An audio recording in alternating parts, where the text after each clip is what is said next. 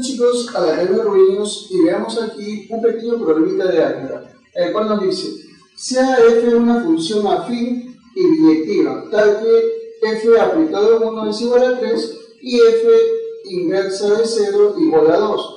Calcule f inversa de 6. Bueno, el f con asterisco significa función inversa de f. Eh, bueno, estas son las alternativas y nos están pidiendo calcular la función inversa aplicada en 6. Profe, ¿cómo se conseguiría eso? Para ello tú tienes que saber cuál es la forma general de una función afín, que sería f de x igual a x más b.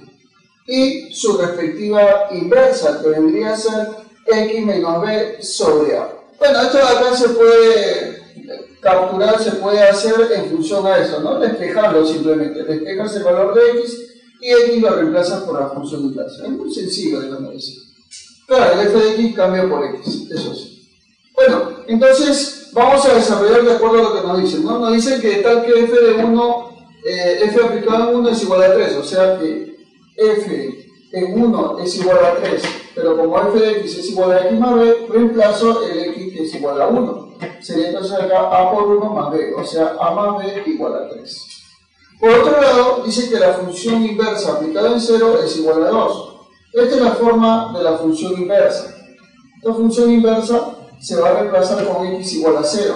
Entonces acá sería 0 menos b sobre a. O sea, en otras palabras, menos b sobre a. Pero, pero, pero, pero, pero, todo esto dice que vale 2, o sea, es igual a 2. El a pasa a multiplicar y el menos pasa a dividir. Entonces b valdría menos 2a. ¿Está bien? Luego esto, lo que tú estás observando, se va a reemplazar aquí o sea, sería A menos 2A igual a 3, ¿no? Porque se está reemplazando. A menos 2A igual a 3. De aquí concluimos de esta solución que A vale menos 3. Y como A vale menos 3, se reemplazó la K menos 2 por menos 3, B valdría 6. Luego, reemplazando estos valores en la función inversa, función inversa va a ser igual a x menos, como B vale 6, x menos 6 sobre A, que vale menos 3. Ahí está bien. Pero como te están pidiendo la función inversa aplicada en 6, entonces diremos función inversa aplicada en 6 sería x vale 6, 6 menos 6 sobre 3, ¿no?